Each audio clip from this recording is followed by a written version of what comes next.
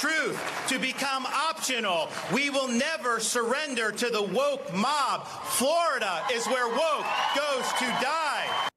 Oh, I love that. Welcome back to Saturday Report. I'm Lydia Serrani. Florida Governor Ron DeSantis is fighting the good fight against the woke radical left, and our next guest has eyes on the ground. Joining us now is CEO of Optima Ed and Mamas for DeSantis, Erika Donalds. Welcome to Saturday Report. Thanks so much for having me, Lydia. So, talk to us about this woke ideology you have seen infiltrating our schools. And obviously, as a mother myself, it is so important to fight back on this indoctrination. earlier this week, I had showed this video. I put it on my Twitter where you see these uh, this teacher and she has a puppet on her lap and she's teaching four and five year olds about theys and thems and non-binary. And the kids were just totally confused and more focused on the the puppet's uh, shirt and why there were stars on it.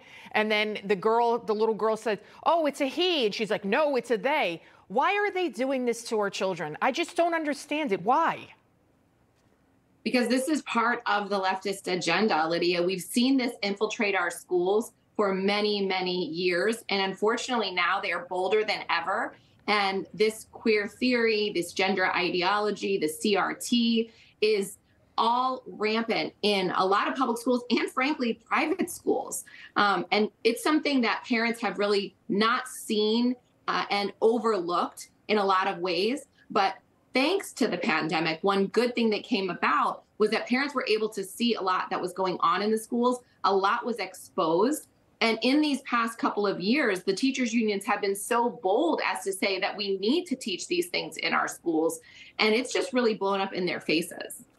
MSNBC host uh, Joy Reid, she's been she's criticized Ron DeSantis for blocking an AP Black History course because uh, you know it looks like that this is indoctrination and not education. Uh, but take a listen to what she said. You know, I'm not saying Ron DeSantis is racist, but to quote Andrew Gillum, I think the racists might think he's racist. Meanwhile, this course is basically CRT disguised. And I also want to, you know, people, if, if you're going to talk about African American history, what about Chinese American history, Hispanic American? I mean, it just goes on and on. So, what, what's your take on this? The fact is that African American history is required to be taught in Florida schools. It is in our statute, it is in our curriculum, it is in our standards. This course is an AP course. One quarter of it is rampant with CRT. The writings that are suggested are Marxist writings. And Ron DeSantis, rightfully so, said this violates Florida law. We do not teach CRT in our K 12 institution, and the College Board needs to revise the course so that we can teach it in Florida. Three quarters of it is fine.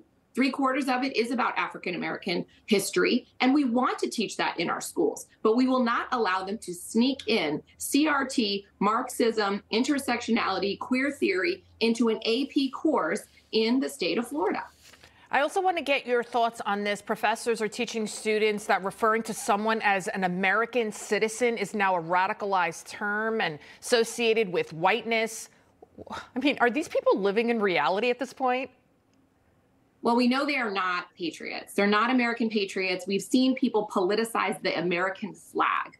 We live in this great country, and we are teaching children not to be proud of the country that we live in. This is the greatest economic system, uh, liberty system in the entire history of the world. And that's Absolutely. what we should be teaching our children. It's unfortunate that these people hate America so much, because America is the reason why they have the free speech that they have to say how much they hate America. I couldn't agree. I couldn't agree with you more as a first generation American myself. This is the greatest country in the world and will remain to be so thanks to people like you, Erika Donalds. Thank you for so much that you do.